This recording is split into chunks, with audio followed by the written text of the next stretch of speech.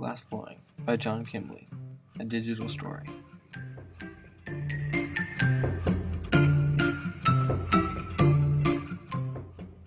This digital story will contain information for the content standards for grades 9 through 12 visual and performing arts, specifically researching two periods of sculpture and analyzing a material used by a given artist. Glassblowing has been around for hundreds of years.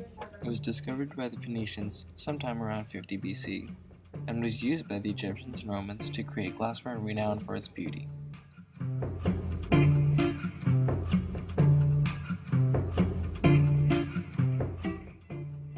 The process hasn't changed much over the years. The tip of the pipe is used to gather molten ash from a crucible within a furnace. The furnace is kept at a constant temperature of over 2000 degrees Fahrenheit. Once gathered, air is blown into the rod to form a parison, a small beginning bubble.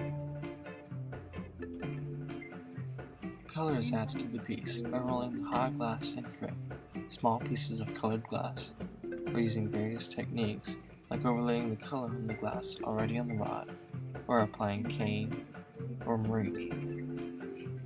Once color is applied, more gathers are made to add glass and allow for more colors and patterns to be added.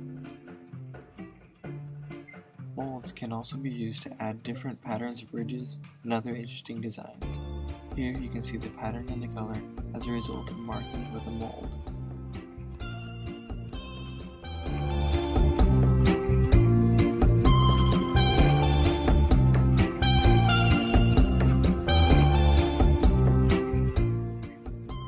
piece is blown out, and the gaffer or lead glass blower shapes it with his tools.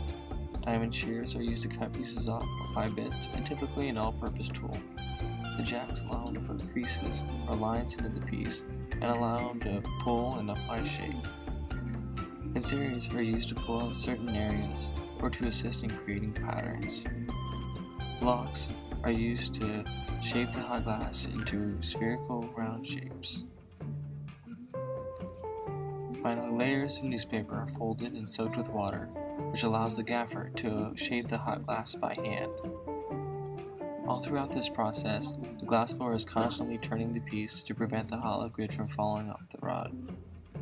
When the piece is finally finished, it can be placed in the annealing oven to cool slowly overnight.